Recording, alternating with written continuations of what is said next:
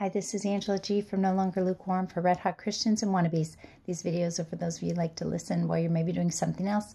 Uh, for those of you who like to read my blogs, you can find that link in the description box below. So this one is called Three Things to Remember When We're Suffering.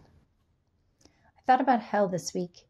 It's not usually a subject I dwell on too much, but this week it was up in my face, almost literally. I'd been sick with the coronavirus for about 11 days at that point. The pain raging behind my eyes and nose was piercing. The dull ache in my stomach was the only counterpoint. As I cried out to God with tears, I realized some important points about suffering that God is just now helping me put into words. Number one, we must believe God's truth over our feelings. When you're hurting and have been hurting, it can start to feel like the hurting will never end. And when you've been crying out to God for Him to relieve that pain and He hasn't chosen to do so, the devil will start to whisper that God isn't listening, that He's abandoned you for this or that offense. But the truth of God's word is that He doesn't, and He won't. While we may not understand why we have to go through the things we do and will, we know that as His children we can trust Him. He has brought us with a price. We belong to Him, and our lives are in His hands. God will not forget you. Isaiah 49:14. Can a woman forget her nursing child and not have compassion on the son of her womb? Surely they may forget, yet I will not forget you. he loves you and wants the best for you. Jeremiah 29:11. For I know the plans I have for you, declares the Lord, plans to prosper you and not to harm you, plans to give you a hope and a future. God hears you and will deliver you in his time. Psalm 31 34:17. The righteous cry out and the Lord hears them hears and delivers them out of all their troubles. He will use your pain for a purpose. Romans 8:28 and we know that all things work together for good to those who love God, to those who are the called according to his purpose. Your pain will end. Psalm 35 uh, 5b. Weeping may endure for a night, but joy comes in the morning. Number 2. Jesus is our only hope. As I lay curled in the dark with a heating pad over my face and the book of Psalms playing quietly from my phone, I realized that I did in fact have hope. I could believe the words in God's book. I was secure, no matter what my feelings might be for the moment. Jesus would heal me or take me home. Not only that, but there is soon coming a day when Jesus will reign both in heaven and on earth. Our bodies will feel no more pain. There will be no more worries about money or welfare of our loved ones.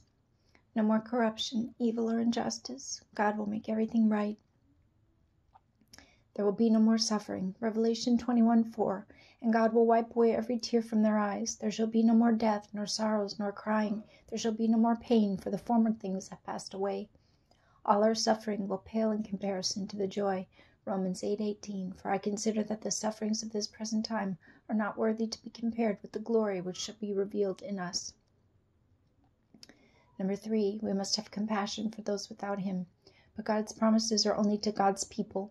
They don't apply to those who choose not to believe Him and surrender their lives to His will and way. For those who refuse to, heed His call, there is an expected end. It involves ears that are closed to their cries and suffering with no hope of an end. The very promises of God that make our pain bearable don't apply to those who are in rebellion to Him. When they cry for death to end their pain, it is only the beginning of hopelessness forever. How should we live in light of this? We should let our sh- lights shine before men. 2 Corinthians 5:20. Now then, we are ambassadors for Christ. So God were pleading through us. We implore you on Christ's behalf, be reconciled to God, and be ready to tell others of our hope. 1 Peter 3:15. But sanctify the Lord God in your hearts, and always be ready to give a defense to everyone who asks you a reason for the hope that is in you, with meekness and fear. We should pray for souls to be saved. Matthew 9, 37 to 38. Then he said to his disciples, The harvest truly is plentiful, but the laborers are few.